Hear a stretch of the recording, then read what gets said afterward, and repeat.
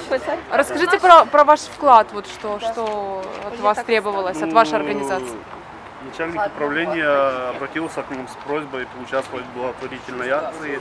Мы с директором посовещались и ну, немедленно отреагировали на это. Э, Выделили там более 10 тысяч гривен на эту благотворительную акцию. Э, Я думаю, что мы будем и в дальнейшем участвовать в этих акциях, как э, скажем так, нам ну, не безразлична судьба нашей страны. Вот. И э,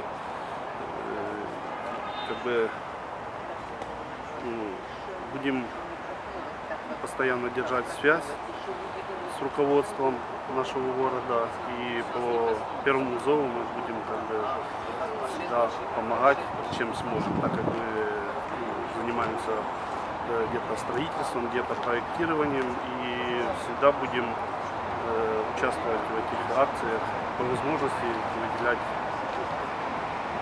э, финансы на благотворительность. Как зовут вас? Меня зовут Геннадий Васильевич.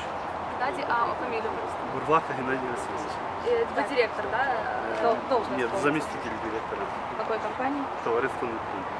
А скажите, а вы помо- помогали финансово деньгами или материалом? Э, Ну, э, материалом мы не могли помогать, потому что, ну, как бы это не наше направление. Мы э, финансово помогали, а уже э, вот человек, который выступал, Сережа, он именно занимался, так как это ну, более ну, его направление. Они занимаются электрикой и так далее. Мы этим не занимаемся, так что мы Это ваш первый опыт, ну, как бы пом- Да. помощи? Да, А, э, это первый опыт. Что хочу сказать, что э, мы как предприниматели города Южного между собой очень часто общаемся. И я вам скажу, что э, есть много желающих, которые хотели бы поучаствовать э, в таких акциях.